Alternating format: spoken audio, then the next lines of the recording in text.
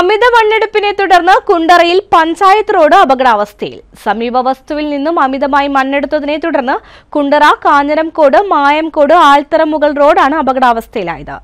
കാഞ്ഞിരംകോട് ഭാഗത്ത് സംരക്ഷണ ഭിത്തി തകർന്ന് റോഡിന്റെ അടിയിലെ മണ്ണ് ഒലിച്ചുപോയ നിലയിലാണ്.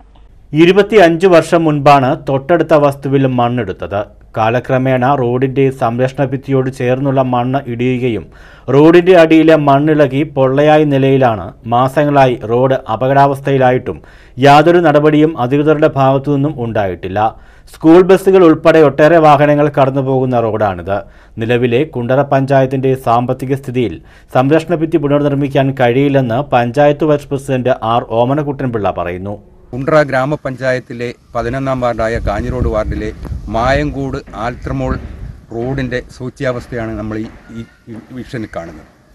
ഇതുമായി ബന്ധപ്പെട്ട ഏകദേശം ഒരു ഇരുപത്തഞ്ച് വർഷത്തോളം മുന്നേ മുന്നേ തന്നെ ഇതിന്റെ ഒരു ഈ ഒരു വസ്തുവിന്റെ ഉടമ ഈ ഭാഗത്തെ പ്രദേശത്തെ മണ്ണ് എടുത്ത് മാറ്റി മണ്ണ് മാഫിയായിട്ട് ബന്ധപ്പെട്ട് ഇവിടെ മണ്ണ് എടുത്തതിന്റെ ഫലമായിട്ടാണ് ഇന്ന് നമ്മൾ കാണുന്ന ഈ സാഹചര്യം ഇവിടെ ഉളവായിട്ടുള്ളത്.